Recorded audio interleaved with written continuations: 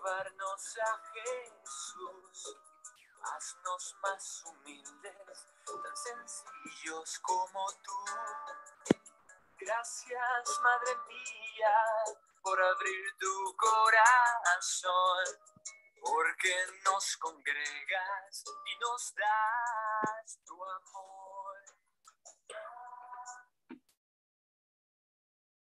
Muy buenas tardes y un saludo muy afectuoso para todos nuestros hermanos radiocreyentes y bienvenidos una vez más a nuestro octavo episodio de Cuéntame tu historia transmitido a través de María Evangelizadora Radio, todos los miércoles a las 5 de la tarde, hora de Nueva York.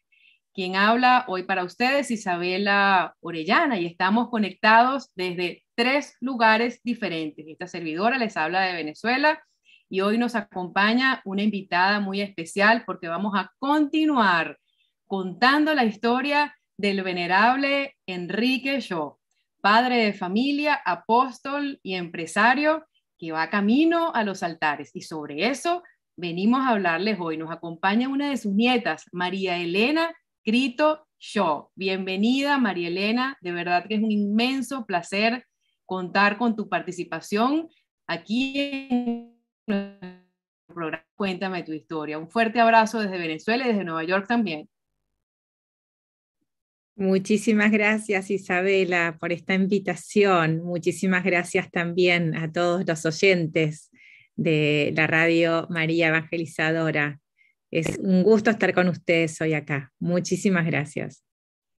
Bueno, les cuento a nuestros apreciados radio creyentes que María Elena es psicóloga y es además madre de cuatro preciosos hijos es esposa, muy importante, y además es una profesional, pues, bueno, destacada, muy destacada en lo que hace. Ella coloca sus talentos al servicio de Dios, al servicio de la iglesia, y entiendo que lleva adelante un apostolado muy lindo dedicado a la dignificación de la mujer, el liderazgo femenino. Bueno, sobre eso podríamos conversar en otro de estos encuentros, porque hoy le toca el turno a don Enrique Shaw.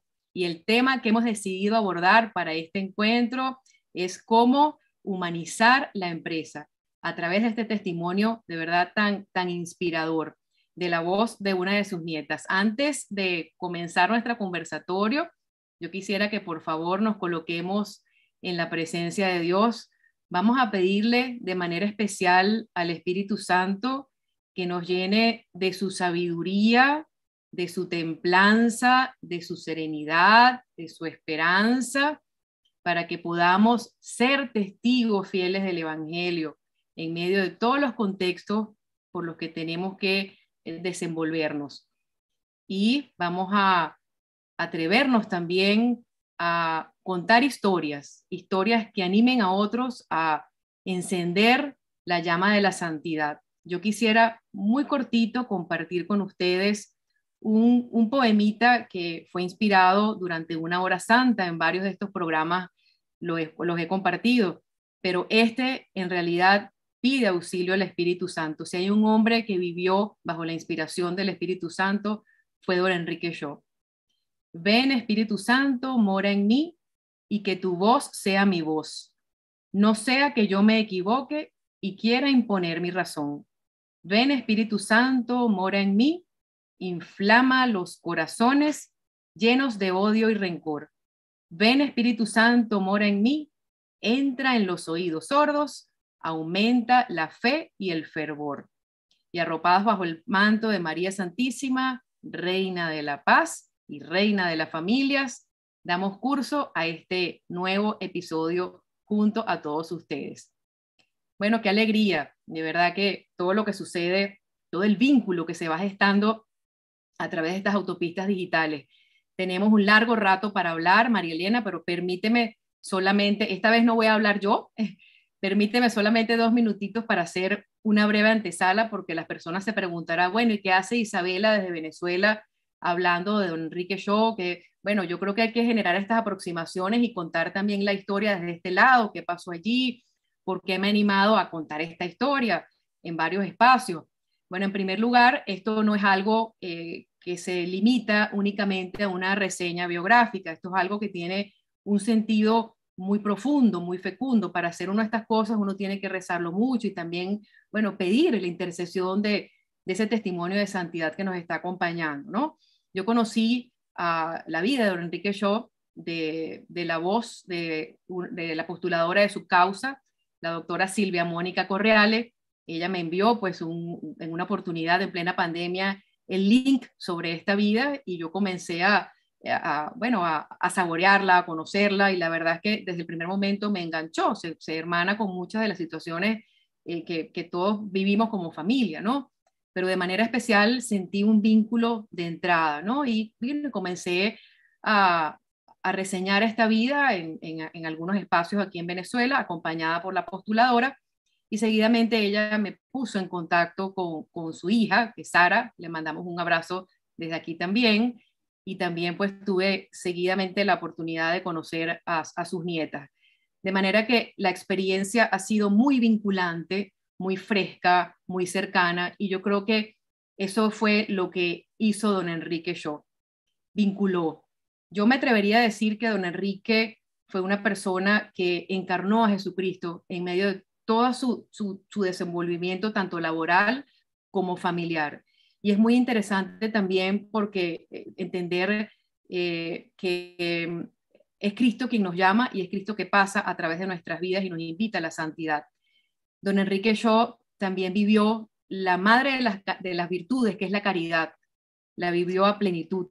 Fue un hombre que se donó a los demás. Fue un hombre que entendió que era importante para trascender en la vida, era importante darle alas al otro. Y a veces confundimos la caridad con una dádiva y la caridad es ir un poco más allá y entender que la verdadera felicidad consiste en dar felicidad al otro. Y eso lo comenzó don Enrique Shaw a estar desde muy chiquito en su vida familiar, en su vida conyugal. En, este programa no vamos a abordar tanto la, su vida conyugal, eso lo dejaremos para el próximo episodio, nos vamos a enfocar en cómo, cómo fue él como empresario, cómo él humanizó a su empresa y también eh, la, la, sociedad. Pero, pero no podemos hablar de don Enrique sin nombrar a Cecilia, que fue su esposa, que fue una pareja verdaderamente ejemplar. Y yo creo que ese es el camino y por eso es que es tan importante adentrarnos y conocer estas vidas porque nos ayudan a nosotros también a, a seguir ese camino. Bueno, y sin más preámbulos, vamos a cederle el paso a nuestra invitada, que hoy le va a tocar el turno a ella. Y yo quisiera que nos comentes un poquito, María Elena, eh, de qué manera tu abuelo humanizó no solamente la empresa, sino, bueno, todo, todo lo que él, todo lo que él eh, acercaba, ¿no? Y qué es para ti también humanizar en pleno siglo XXI. Tú como psicóloga puedes hablarnos bastante bien de eso. Gracias. Bueno, soy socióloga en realidad, pero bueno, tengo una hija estudiando psicología, así que muy orgullosa de, la carrera psicología y que admiro muchísimo. Pero bueno, em, Enrique yo escribió un libro que se llama Y dominad la tierra, que se puede acceder incluso por, por la web, em, que es un canto sobre el trabajo, ¿no? sobre nuestra misión de ser co-creadores, de construir, de trabajar en positivo. Y Enrique veía justamente el trabajo en la empresa como una manera de santificarse, no como una carga, sino como una oportunidad, una oportunidad de llegar a Dios. Eh, y la empresa en este sentido es eh, abarcativa, no solamente es la ganancia económica, que quizás muchas veces se reduce a eso, sino que hay otras ganancias que valen mucho más que lo económico, justamente que es esto de poder eh, trabajar en un ambiente constructivo que permita el desarrollo integral de las personas, donde las personas vayan y puedan trabajar en un ambiente donde puedan desarrollar sus capacidades, donde uno eh, sea reconocido, donde su trabajo sea reconocido, se sienta que es útil a la sociedad. Eh, no todo gira alrededor del lucro, sino también del servicio a las personas. Y esto para Enrique creo que, lo atravesaba, ¿no? que es justamente lo que hizo una diferencia, porque él, él trabajaba en una empresa que era una fábrica de vidrio, ¿no? y entre otras cosas, él lo que fabricaban eh, eran eh, vajilla, platos y vasos, que antes se hacían de lata y justamente eh, él santificó el trabajo que se hacía allí, porque gracias a esto, por ejemplo, mucha gente accedió a platos y vasos que ahora estaban al alcance de la gente. Y para Enrique era muy importante que los obreros entendieran la importancia de su trabajo y la utilidad de su trabajo para la sociedad. En la empresa, él eh, centra muchísimo, y de hecho en este libro, Y dominar la tierra, él habla tanto de los, de los talentos, de la parábola de los talentos, como de las bienaventuranzas, porque él cree que eh, justamente a través de la empresa es posible fructificar los talentos de cada uno, porque cada uno recibe talentos de parte de Dios, ¿no? Y cómo poner eso al servicio de Dios y al servicio de los demás. Y, él en esto, él ve la empresa como un camino para justamente facilitar la realización de cada uno de los empleados, ¿no? de que encuentren cada uno de los empleados el desarrollo de esos talentos, esas capacidades que cada uno tiene. Y él buscaba justamente como un líder que era eh, desarrollar y encontrar lo mejor de cada uno, ¿no? Y ayudarlos a ellos también a encontrar lo mejor de sí mismos, ¿no? Para poder contribuir a la obra de Dios. Enrique en esto veía a la empresa como, como un lugar donde se podía ascender, donde, ¿no? De un camino de ascensión humana hacia Dios, un camino donde todos se puedan desarrollar, tanto los sindicalistas, los trabajadores, los dirigentes, ¿no? los empresarios, todos. Y donde el hombre ahí pone las cosas al servicio de su fin, del fin para el cual han sido creadas, que han sido creadas por Dios, al servicio de los hombres y al servicio de Dios. Él buscaba que, en la empresa eh, el clima contribuya justamente al, desarrollo de los hombres y él en esto era muy humano, ¿no? muy cerca de la gente, muy cercano a la gente. Él respetaba muchísimo la libertad de cada uno, que cada uno pueda expresarse y desarrollar su personalidad, eh, que cada uno pueda encontrar lo bueno que tiene, eh, que los trabajadores también trabajen en mejores condiciones, en un momento en el que los trabajadores eran, eh, no eran muchas veces ni respetados, ni las condiciones en las que trabajaban. Él se fijaba muchísimo esto, ¿no? Y en, también en escuchar sus ideas creadoras, los recursos, él escuchaba, estaba cerca de la gente. Y, él en este sentido em, también cree que justamente los tiene que estimular para trabajar con, alegría, a, reconocer em, su aporte y no significa que esto era todo, digamos, que cuando haya que reprender, él decía, bueno, hay que corregir, pero siempre y cuando antes uno haya también reconocido y pueda reconocer el buen trabajo, el esfuerzo de cada uno. Y él en esto generó y dio mucha esperanza también a, toda esa comunidad que, hacía la empresa Rigoló, ¿no? esta empresa, esta fábrica de vidrio. Él ve la, la, empresa como una herramienta, como un instrumento para dar gloria a Dios, para dar fruto, y un instrumento de la gracia, ¿no? Eh, donde uno influye y donde justamente la eficacia del trabajo como, como servidor de Dios es mayor él también ve en este, en este liderazgo empresarial el compromiso de crear trabajo, el trabajo perfecciona y es lo que permite justamente el desarrollo de las personas y lo que nos permite hacernos partícipes de la obra de Dios. Entonces él ve con mucha seriedad esto de ser eficiente, generar más recursos para generar justamente más posibilidades y también eh, más recursos para todos los más necesitados. Él se interesa mucho en la vida de cada uno de sus empleados, ¿no? busca mucho el bien de cada uno. Eh, en este sentido, se interesa las condiciones de vida, las casas en donde vivían, sus familias.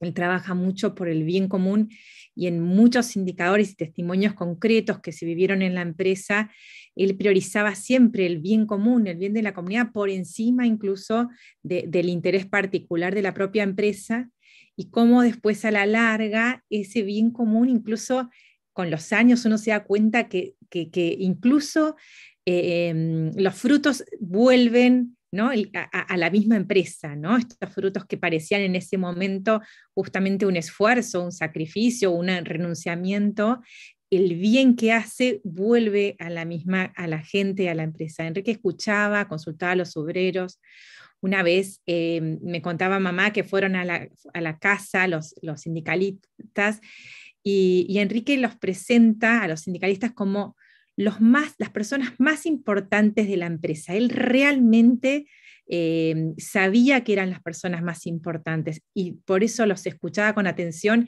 y aprendía de ellos, ¿no? Eh, no sé si, bueno, Enrique sembraba esperanza, ¿no? generaba equipos eh, donde cada uno tenía su valor, su reconocimiento, tenía un gran corazón, pero no era sentimentalista, ¿no? El gran corazón en reconocer el trabajo y el lugar de cada uno. Él buscaba el desarrollo de todos y en este sentido de las mujeres también, ¿eh? no hacía distinción, todo lo contrario, para él todos eran importantes y valiosos. Él era muy respetuoso de las mujeres. De hecho, una vez eh, hubo una de las mujeres, Adelina, que trabajaba con él, que le habían dicho que si se quedaba embarazada no iba a poder continuar. Así que él se ocupó personalmente de, hablar del tema, de que eso no podía ser de ninguna manera.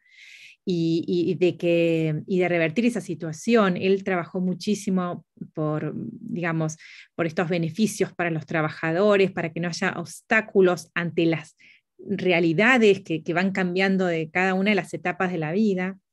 Eh, hay muchos testimonios de mujeres, en esto también es lindísimo, y él, eh, incluso en su relación con, mi abuela, en las cartas, se ve que para él era muy importante reconocer el rol de la mujer en la sociedad. Y, a mi abuela, a mí esto me impresionó muchísimo de las cartas, cómo hasta le consultaba su plan, su estrategia personal de santidad, se la consultaba a mi abuela y también creía mucho en el rol de mi abuela le decía, bueno, ¿por qué no se, hacía diputada?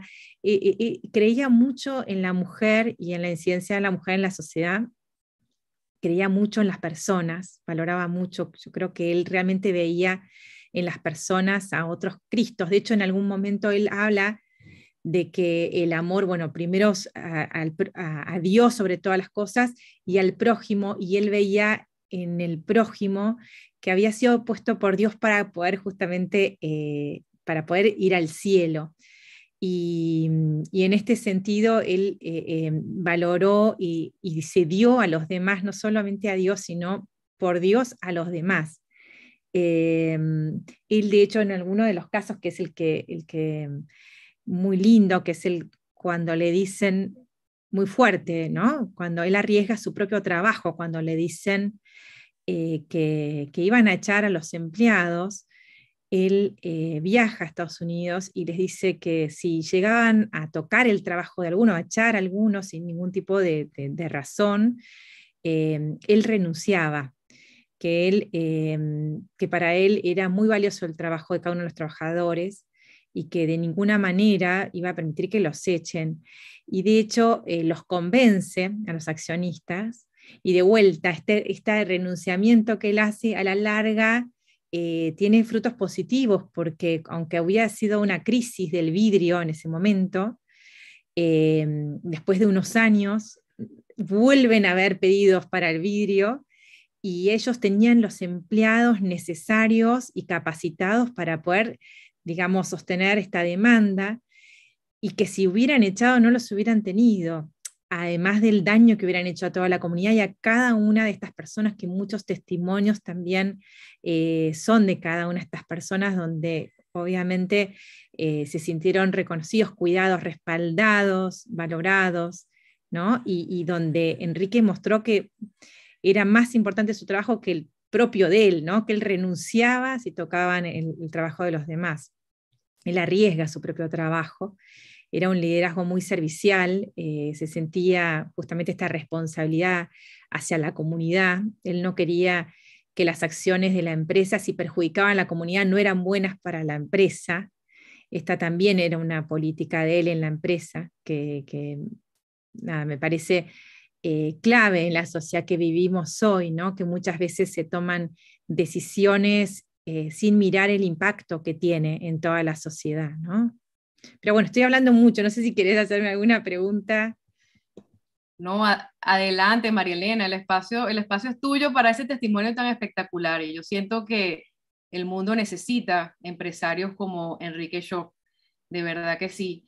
Él fue un Cristo viviente, es, es un testimonio muy fresco y yo siento, me atrevería a decir que él se anticipó a todas esas ideas renovadoras del Concilio Vaticano II, porque e, es como una renovación, ¿no? Y, está, ocurriendo en este momento. Yo siento que eh, gran parte de los problemas que vive la humanidad es por, una, por falta de liderazgo, líderes comprometidos. Ese testimonio que acabas de contar, en el que él arriesgó su propio trabajo en, virtud de, bueno, de salvar a los trabajadores independientemente de la situación que estuviese viviendo, por muy oscura, que, por, muy, por muy bajo que estuviesen los números, él simplemente confió, confió primeramente en Dios y después en su capacidad, ¿no? Y, él sabía renunciar y entregar, pero eso es un testimonio muy inspirador. Eh, me imagino cómo estaría Cecilia Shaw en aquel momento, eh, cuando él le, decía todas estas cosas, pero él supo también adentrarla y supo conducirla a ella en este caminito de santidad. Hay una frase, muchas frases me he apropiado de ellas y las llevo sobre, hay, una, él siempre se repetía constantemente, tengo que ser amable. No es fácil porque ser amable con todo el mundo porque a veces se presentan situaciones, pero don Enrique se esforzaba. A veces uno ve estos testimonios y uno cree que fue todo facilito y no, realmente él también tiene que haber vivido contrariedades, muchas contrariedades, incluso dentro del mismo contexto social en el que él se, se desenvolvió. Fue un hombre muy valiente, en, anunciar a Cristo con su vida, anunciar al Evangelio con su vida. Hay una frase que me, emocionó mucho cuando la escuché de, de, don Enrique y es que la empresa debe ser un lugar perfectamente sacramentable desde la búsqueda de la promoción humana. Justamente esta frase resume toda esta, esta antesala que tú acabas de reseñar.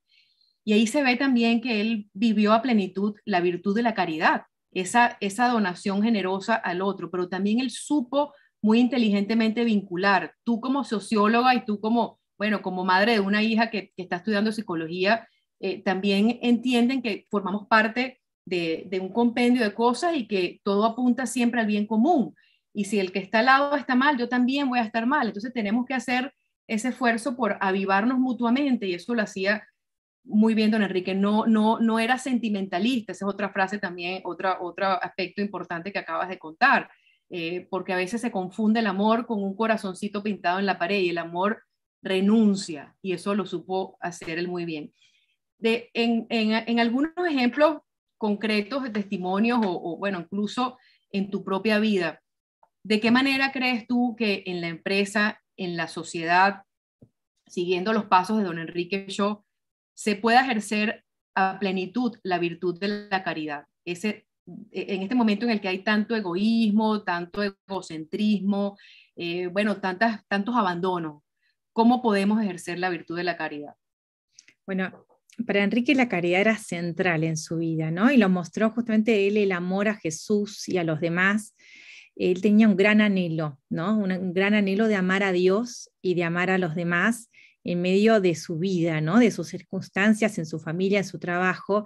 Y esto él se ponía objetivos muy concretos, ¿no? Y por escrito, él se proponía esto de esta apertura, de ser amable a los demás, estar disponibles, respetar la dignidad de todas las personas, hoy que tanto hablamos de derechos humanos, él se lo proponía, pero con todo el corazón y con obras concretas. Él se propone para eso, digamos, ser diligente, alegre, ¿no? Esto de no, andar rezongando, pero actuar con benevolencia y con inteligencia, ¿no? Él buscaba ser comprensivo, comprender a los demás, estudiar, prepararse, estudiar para ser mejor, ¿no? Para dar mejor pero igual él decía que no basta con esto de prepararse, ser inteligente, sino también abrirse a escuchar, a comprender, a comprender las condiciones de vida de los otros, de los que trabajan con él, sus esperanzas, sus preocupaciones, de escucharlos, quererlos. Él se propone en este sentido ser como los demás necesitan que sean, ¿no? Ser, eh, y esto él lo logra con una gran vida espiritual, poniendo su, su inteligencia, sus talentos al servicio de Dios, pero con una gran confianza en Dios y una gran humildad. Y él en este sentido, em, en ese plan de vida que, se puede observar en sus cartas a, mi abuela, ¿no? que él se propone, él se propone ser santo, pero lo que él sabe muy claro es que sin Jesús es imposible. Pero con Jesús es posible, con la Eucaristía es posible, con los sacramentos, él habla mucho de la gracia que están estas fuentes que son justamente los sacramentos, las oraciones, las meditaciones, las celebraciones religiosas, la misa, todas eh, medios que hoy están a nuestro alcance. Él, cuando él como estudió primero en la Marina, eh, él sabía perfectamente que para llegar a un buen puerto tenés que saber precisamente los planes, la estrategia ¿no? y los pasos para llegar a ese puerto. Él en ese sentido, ya a los 18 años, él se propone ser santo y hace este plan y se lo comparte a mi abuela por cartas y, mi abuela lo va bajando a la realidad, pero sin embargo, él va nutriendo este plan, lo comparte con otros, eh, otras personas en la Marina, se los muestra, pero él se propone ser santo, ¿no? Y él dice que esto no depende de uno, y sabemos que no depende de uno, sino que depende de Dios, ¿no? De cuánto uno lo frecuente, lo imite. Em, Enrique en ese sentido era tan humano como nosotros y por eso esas propuestas concretas que él se pone, ser amable, ¿no? dedicar tiempo a los demás, él también tenía dudas, de hecho eh, va eh, a, los sacerdotes a preguntar sobre sus cosas, eh, él en ese sentido también habla de la confesión ¿no? seguida, de la dirección espiritual, de hablar con un sacerdote ¿no? seguido para que este tema de la humildad, de la obediencia humilde a lo que Dios quiere, ¿no? Y no a lo que, a, la imposición de la voluntad de uno, ¿no? Sino que Él sabe que hemos sido creados todos por amor y que por, justamente por amor a Dios es como nos unimos a Él, por amor a Dios sobre todas las cosas, ¿no? Y unirse libremente a esa voluntad de Dios. Luego por amor al prójimo, esto que les decía que él veía en el prójimo justamente eh, que lo puso Dios para, que para, para, conducirnos a Él, ¿no? Entonces, amar también eh, al prójimo y a todas las criaturas que son las cosas creadas por Dios y ponerlas también al servicio de Dios, ¿sí? Y, a mí me encanta eh, haber leído ahora, porque este libro de las cartas se publicó ahora, donde él realmente se, em, se propone y lo escribe y lo debate, cómo, cuál es la estrategia para ser santo, cómo llegar, ¿no? Él se propone ese programa de vida que es accesible a todos nosotros hoy en nuestra realidad, ¿no? Primero imitar a Jesucristo, ¿no? Para ser santo, conocerlo. Él llevaba el Evangelio en su bolsillo, leía todos los días un poco del Evangelio, ese Evangelio que hoy sigue siendo vigente, ¿no? Y que nos dice y nos habla ahora a nosotros en lo que estamos viviendo. Él se propone cosas muy concretas y, las escribe, ¿no? Estar siempre alegre, dispuesto a perdonar, hacer felices a los demás, irradiar el mensaje evangélico en un ambiente de caridad, irradiar más la verdad, irradiar el amor, huir ocasiones, eh, huir de las eh, ocasiones próximas de pecado, evitar malas palabras y así cosas muy, muy concretas, ¿no? Dar buen ejemplo eh, estimular obras cristianas, ejercicios de caridad, ejercicios de piedad, esto de vivir en paz con el prójimo, tratar de apaciguar si, hay discordias, visitar a los enfermos. Bueno, se propone una serie de acciones concretas que hoy tenemos todos al alcance. Se propone, como decíamos, la confesión regular, la misa, eh, la comunión. ¿sí? La comunión, él incluso tiene un capítulo en dominar la tierra que es sobre la Eucaristía y la empresa, la comunión como centro de vida, ¿no? y la preparación para esa misa, la preparación para, para recibir a Jesús. Eh, la dirección espiritual, formarse, leer el Evangelio, ¿sí? todas estas cosas que él eh, día a día las empieza a implementar, ¿no? esto de ponerse también en presencia de Dios durante el día, eh, rezar jaculatorias, ave marías, dar gracias a Dios. Mamá siempre esto nos contaba que cuando Enrique veía algo, decía, gracias Dios mío, gracias Dios mío. Cada vez que veía algo lindo, gracias Dios mío. Dar gracias a Dios por tantas bendiciones que hoy tenemos, bendecir la mesa, esas cosas que por ahí uno dice no es importante, pero también reconocer eh, y agradecer la, mesa. Y el examen final del día, que a mí este me, cuesta un montón porque digo, bueno, ¿cómo sentarte y dedicar tiempo a ver qué es lo malo que hiciste, qué es lo que hiciste bien, cómo eh, seguir mejorando? Pero me parece que, que, él está, eh, como estaba realmente con ese plan, él creo que cuando uno se toma seriamente algo o una, un trabajo en una empresa, es importantísimo esto de, de ver cómo seguir mejorando cada día para justamente acá acercarnos más a Dios. Él además habla de los medios que tenemos, esto de pedir el Espíritu Santo, el Sagrado Corazón de Jesús. Él habla mucho de su socia la Virgen María, él le pide mucho a la Virgen eh, y él pregunta mucho a Dios cada día también qué quiere Dios que haga él, ¿no? Con, su vida. Em, así que, bueno, a mí esto me parece que es muy, eh, muy, lo hace muy real para que nosotros hoy en nuestras situaciones sepamos que más allá de nuestra humanidad, eh, tenemos herramientas muy concretas de la gracia, lo tenemos a Jesús presente en la misa, en la Eucaristía. Eh, la verdad que somos muy, muy bendecidos y que, y que Enrique en esto nos muestra que, todas esas fuentes de, de, gracia son fuentes de energía justamente para, para dar, para amar a Dios y para llegar a ser santos, que es posible, más allá de que sabemos de todos nuestros defectos, de nuestra humanidad, y que si justamente con humildad sabemos que no depende de nosotros, sino que depende de Dios, eh, se puede. Él, de hecho, su papá lo hacía leer muchas biografías de gente muy importante que había dejado huella, y él decía que no le parecía nada más importante que ser santo, que todas esas personas que habían sido súper importantes en el mundo, que él veía que lo más importante, lo más valioso era ser santo. Eh, mm, y, en esto, bueno, eh, eh, como decía, también él mismo escribía que, saber que las obras de Dios son lentas, ¿no? que teníamos que tener mucha paciencia, que no se adelanta de asalto, sino por grados, y, y, creer en lo contagioso del bien y en la fuerza de la verdad.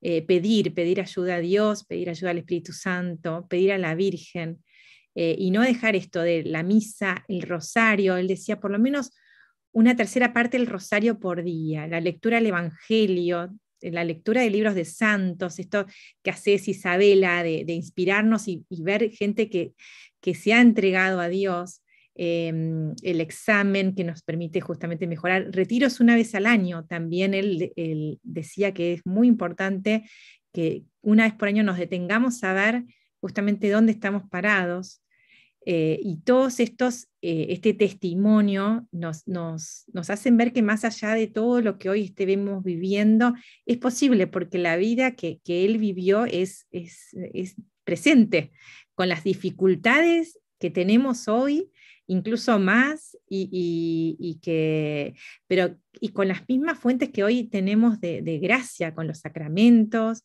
eh, con, con el Evangelio, con los tenemos sacerdotes para, digamos, para ir a verlos, para ir a confesarnos. La verdad que, que, en ese sentido lo hace mucho más cercano, ¿no? Eh, eh, y todas las cosas concretas que él se propuso son, son pequeñas cosas que, que, uno se puede hacer si se las propone, pero bueno, si no nos la proponemos, no lo vamos a hacer. Entonces, eso es lo lindo, ¿no? Ver cómo él se lo propuso y, uno lo ve textualmente en estas cartas que, que él escribió a los 18 años, ¿no? A, su novia.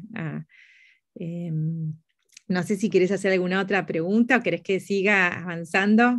Bueno, yo creo que, creo que eh, has hablado, bueno, con mucha profundidad, con mucha sabiduría, pero realmente muy inspirada en tu abuelito. Es, te felicito y te invito también a, a continuar eh, siguiendo sus pasos porque eh, yo siento que estamos en tiempo santo, es momento de hablar de santidad es momento de dejarnos abrazar por todas esas vidas y que nos, que nos ayudan a hacer vida el Evangelio en medio del mundo y en medio de todos los contextos.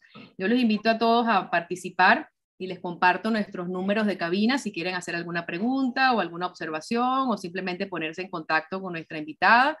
Eh, más 1 646 535 2118 si se encuentran fuera del área de Nueva York y si se encuentran dentro del área de Nueva York, pues marcan 646 535-2118 y gustosamente atenderemos su solicitud. Nos está llegando, María Elena, un mensaje de texto.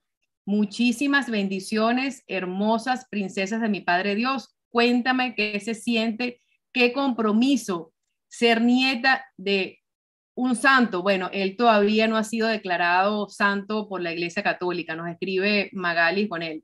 Él todavía no ha sido declarado oficialmente santo por la Iglesia Católica. Les comparto a las personas que nos escuchan que recientemente la Iglesia abrió el proceso de, canonización y fue declarado venerable. Y esto quiere decir, pues, que vivió sus virtudes, las virtudes, las virtudes este, cristianas con heroicidad, no porque fue un héroe del mundo, sino porque justamente lo que nos acaba de decir María Elena, él se, se puso chiquitico y se dejó traspasar por las realidades humanas, las encarnó, las hizo suyas. Y eso, esa parte hace mucha falta en, en, todo tipo de relación, no solamente en la vida empresarial, sino bueno, hasta en los grupos de apostolado, porque a veces creemos que es nuestra posición. Y realmente cuando nosotros nos dejamos guiar por la gracia de Dios, entendemos que todo viene de Dios, pues todo va fluyendo y Él va eh, aumentando nuestra voluntad para hacer mejor las cosas, no en favor propio, sino en beneficio de los demás, de los que nos rodean. Entonces se va generando como, bueno, como una, como una bola de fuego, pero que va envolviendo en cosas buenas y que va abrazando, abrazando en santidad. Así que qué bonito. Yo siento que don Enrique yo fue muy eh, cristocéntrico, pero también sentía un amor profundo a la Virgen María y tenía especial cuidado hacia la mujer, ¿no? Y yo creo que en aquella época no eran tan vistas las mujeres como figuras públicas, pero a lo mejor esa desaveniencia que él vivió desde chiquito, porque entiendo que perdió a su mamá a temprana edad, esa carencia afectiva y esa carencia de su mamá, pues no fue un impedimento, todo lo contrario, lo hizo ser a él mejor persona y alistarse en esa fila de la santidad. Así que este testimonio también nos enseña a sobreponernos ante la adversidad. Hay una frase de él que a mí me encanta, no conozco ningún quejón que haya llegado muy lejos.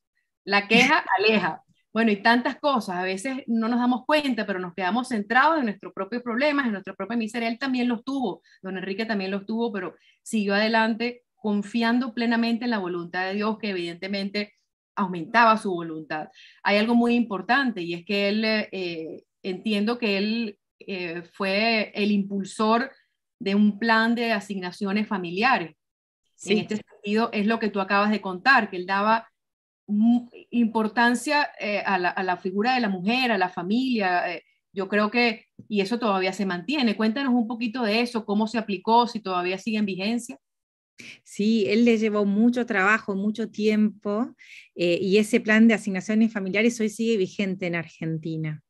Em, la verdad que ese fue, de hecho, eh, pionero en este reconocimiento del trabajo de los, del valor del trabajo de los empleados, en esto de acercar, eh, en ese momento, bueno, estaba de moda Marx y la división de clases y todas estas cosas, y él estaba trabajando justamente con una visión eh, totalmente humanista y centrada, obviamente, en las personas y en el reconocimiento del valor de las personas.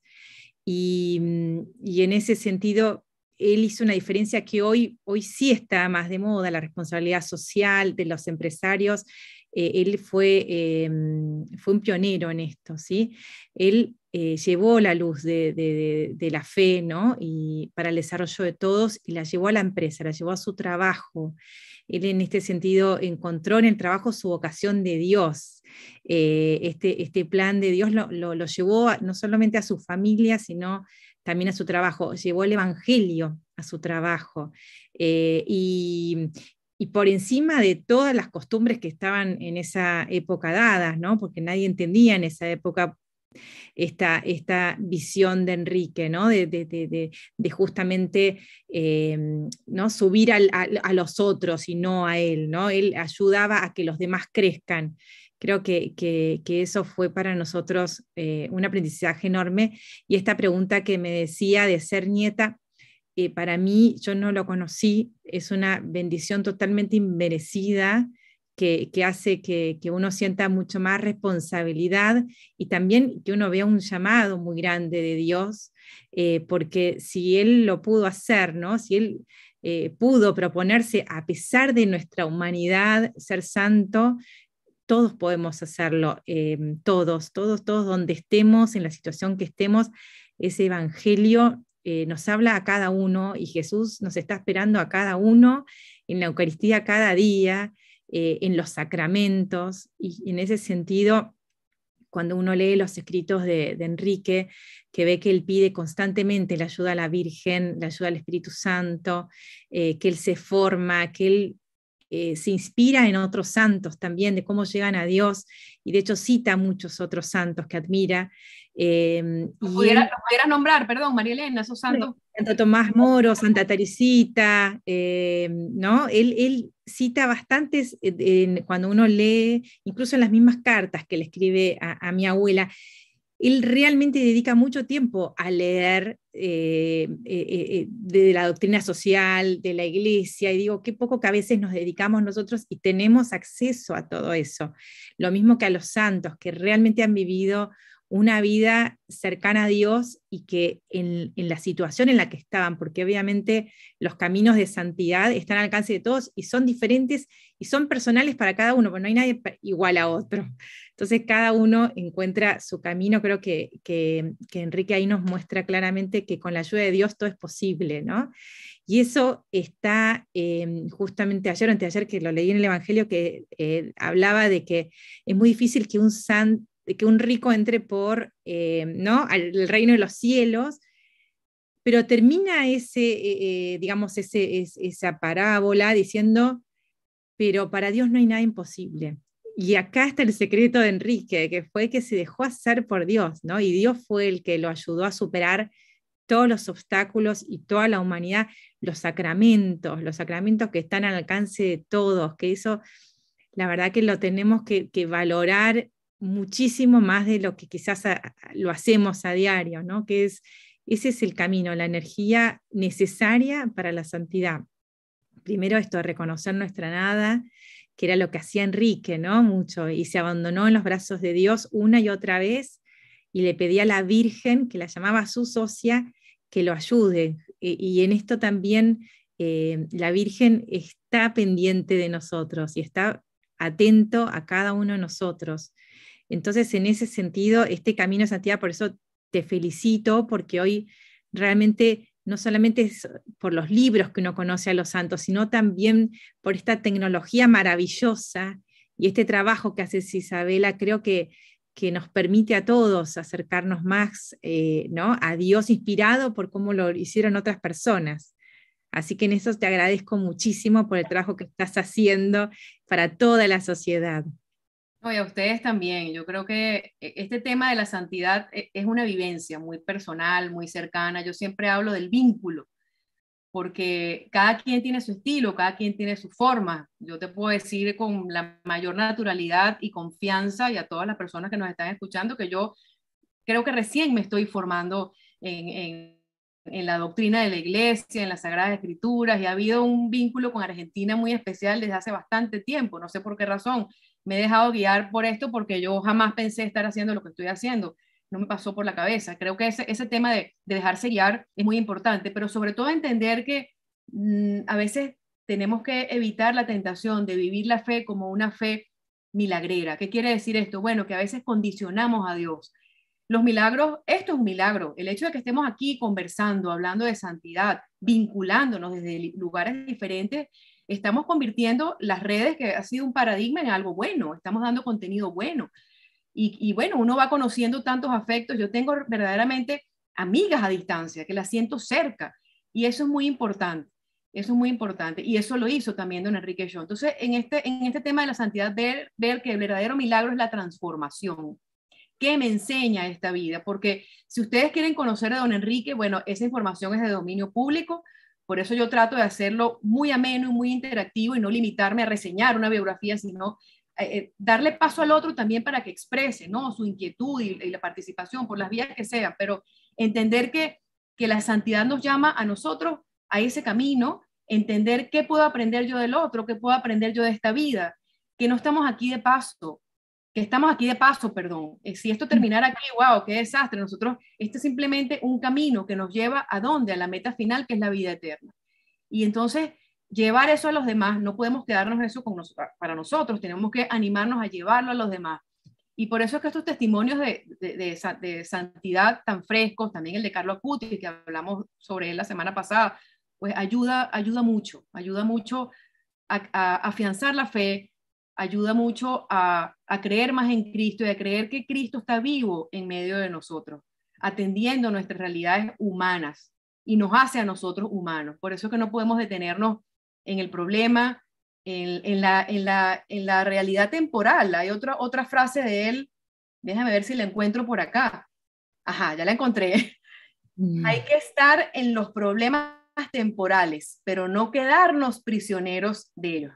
Esto es muy interesante y esto, y esto lo podemos cimentar, eh, si vamos a la Sagrada Escritura, pues lo podemos cimentar en, en el primer capítulo del libro de Efesios, así nos lo cuenta San Pablo, que todo, todo va en Cristo, ¿no?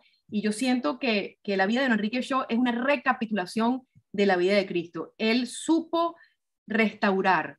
Don Enrique Shaw supo restaurar al otro, supo hermanarse al otro, supo achicarse en favor del otro, pero en obediencia, no una obediencia sumisa, sino una obediencia a la, voz del Espíritu Santo, a la acción del Espíritu Santo, a la acción de Dios en su vida hasta llegar a materializar esta gran obra. Da, mucha alegría, yo tuve la oportunidad durante la pandemia, eso me contuvo muchísimo, de, participar en algunos encuentros de carácter de oyente, me invitaba la postuladora de la causa, me invitaba también eh, su hija Sara, y, estaba allí, bueno, como una esponjita, copiando todo aquello, yo decía, de verdad que, eh, bueno, además es un gran amigo, un gran intercesor, porque en aquel momento para mí era difícil, era yo decía, bueno, ¿qué hago yo con esta causa acá? ¿Cómo lo, cómo lo, cómo lo expreso? No es una causa local, no esperé que me llegara ninguna estampa de afuera. Sara, su hija, me mandaba los libros en PDF y yo seguía leyendo y leyendo. Bueno, tomé mi computadora como cualquier persona en cualquier lugar del mundo, imprimí su foto, la plastifiqué y acá está Don Enrique acompañándonos. Eh, bueno, a veces en mi mesita de noche, a veces, y allí está, es esa cercanía y esa santidad universal y, que, y que nos esperanza, que nos aviva, que nos llena el alma. María Elena, ¿cómo tú crees que es posible vivir una vida cristiana, vivir con sabor evangelio en pleno siglo XXI? Sí, sí, de hecho, eh, lo que estamos hablando hoy de, Enrique, como él logró ser santo, son, él se centra mucho en este programa, que es un programa con todos eh, medios y acciones concretas que hoy tenemos todos a nuestro alcance, ¿no? El tema de la misa, la confesión, el rosario, la dirección espiritual con un sacerdote, ir hablar con un sacerdote, el retiro una vez por año. Em, esto de, pedir ayuda a la Virgen, al Espíritu Santo, al Sagrado Corazón de Jesús, em, poner, digamos, nuestra esperanza eh, en Dios y no en las cosas eh, terrenales, eh, él la verdad que nos mostró que sí es posible y que y además eh, tenemos todos los medios para hacerlo. Bueno, pero tenemos que proponerlo primero, proponernos ser santos, proponernos formarnos, proponernos conocer a Jesús, imitarlo, eh, pedir ayuda, pedir ayuda a la Virgen, pedir a Dios que nos, nos muestre qué es lo que quiere de cada uno de nosotros y ver cómo cada uno de nosotros, en donde estemos y con el entorno, el contexto que estemos, podemos justamente dar gloria a Dios y ayudar mediante esa humanidad, ¿no? Eh, irradiar a Dios, irradiar amor y amar a los demás y que esos demás que están a, nuestro, eh, al lado nuestro, em, los llevemos también, ¿no? a Dios. Eh, les podamos, obviamente sin esperar que ellos cambien, sino todo lo contrario, con amor, con paciencia, eh, y así como nosotros mismos que tengamos paciencia de todos nuestros defectos, de todos nuestros egoísmos, y que es Dios el que nos va a transformar, es Dios el que nos va eh, a llevar de la mano, es la Virgen que nos va a acompañar en esto, y son los sacramentos los que nos van a dar esa gracia, esa energía necesaria para que podamos con nuestra nada llegar a, Dios. Hoy sí es posible, tenemos el Evangelio, tenemos las encíclicas, la doctrina social de la Iglesia, eh, tenemos eh, la Iglesia, tenemos la misa, tenemos tantas cosas que tenemos que aprovechar para justamente eh, saber que esos son los caminos de santidad que están al alcance de todos, ¿sí? Y que Jesús está ahí esperándonos a cada uno de nosotros, ¿sí?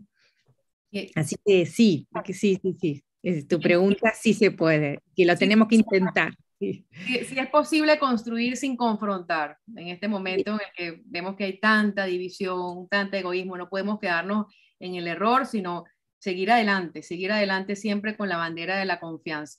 Y por eso es que yo repito tanto esta frase, que la santidad universal es un signo de esperanza. Y Dios nos mueve, nos mueve para allá y para acá y nos encuentra. ¿Hay alguna devoción mariana en particular que, que haya tenido don Enrique yo? Pero primero voy a compartir este mensaje que acaban de enviar a través de, de, los, de los grupos de Radio, de Radio María Evangelizadora Radio. Gracias, hermana Isabela, por esta valiosa entrevista. Y acaban de colocar una fotico eh, eh, de don Enrique Shaw. ¡Qué belleza! Porque, bueno, realmente entendemos que la santidad nos lleva a, ¿a qué nos lleva? A ese encuentro con Jesús. Y hay que formarse. Eso lo tenía bien claro don Enrique Shaw, formarse en la doctrina de la iglesia. No es el santo quien hace el milagro, el santo intercede. ¿Cómo intercede? Bueno, intercede en favor de una petición en particular, pero también intercede de una manera normal y corriente, no tiene que ser algo sobrenatural, con su vida, con su ejemplo, con su compañía, con esa espera en el cielo. Eso es lo importante y que tenemos que entender, porque a veces las personas se detienen en el problema, en la, en la, en desaveniencia de salud y a veces Dios permite todas esas cosas para nuestra santificación. Y en medio de eso hay muchos testimonios de personas en medio de una gran adversidad, pero con una sonrisa, con esperanza, no, no, hay que detenerse en el problema temporal, como decía don Enrique, sino vislumbrar siempre un camino de esperanza. Pero lo más importante es entender que la caridad va mucho más allá de una dádiva. La caridad es también dejarse traspasar por esa realidad humana del otro y entender que Dios tiene sus tiempos y a partir de eso pues comenzamos a dar alas a los demás y a permitir que los demás también evolucionen, que los demás también crezcan. Y por eso que este testimonio podría ayudar mucho a las empresas a, implementar muchos mecanismos de acción para, para favorecer esa vida comunitaria dentro de la empresa. Yo me atrevería a decir que, bueno, ya él es un santo porque eh, voy a tomar las, palabras del Papa Francisco cuando no, en su exhortación apostólica Gaudete et exultar habló de, esa alegría de la santidad, pero también de la santidad de la puerta de al lado, todas aquellas personas laicos como tú, María Elena, como yo y como las personas que nos están escuchando, que día a día se esfuerzan por hacer de, de este mundo un mundo mejor. Y todo parte de esa búsqueda constante, todo parte de dejarnos guiar por la gracia, por la acción del Espíritu Santo en nuestras vidas. En, estas temas, en este tema de las devociones, ya estamos con poquitos minutos, pero no quiero perder ni un minuto. En este tema de las devociones, yo quisiera preguntarte si don Enrique yo tenía una devoción en particular, porque también a veces yo creo que en, en las devociones se cometen algunos excesos y el exceso de activismo a veces separa, a veces divide. Hay que ser muy político, hay que ser muy prudente, muy cercano y llevar a Cristo con el propio testimonio, como lo hacía don Enrique yo. No necesitamos una manifestación sobrenatural, ni que se prendan o se apagan luces para nosotros conocer a Cristo. Cristo se vive en el corazón de manera personal, de manera particular, de manera viva, ¿no? Como este testimonio. ¿Hay alguna devoción mariana que tenía don Enrique Show que les inculcó a ustedes? Porque la Virgen es una sola, pero se manifiesta de muchas maneras y se pone diferentes ropajes. Es una sola, y él tenía una virgencita siempre eh, en, también en su bolsillo, en los viajes, siempre iba con la Virgen. Eh, él iba mucho a Luján a visitar y agradecer y a pedir a la Virgen de Luján, que es la Virgen, bueno, patrona de Argentina. Em, y, me encanta esto que, que, dijiste, ¿no? También de la confianza en Dios, ¿no? Él Em, todo esto lo pudo hacer porque él confió en Dios, ¿no? Se, perdió sus miedos. Realmente él no tenía miedo de hacer lo que tenía que hacer, aunque iba contracorriente, eh, porque confiaba en Dios y ponía todo en Dios, no en sus hombros, ¿no? Sino en Dios.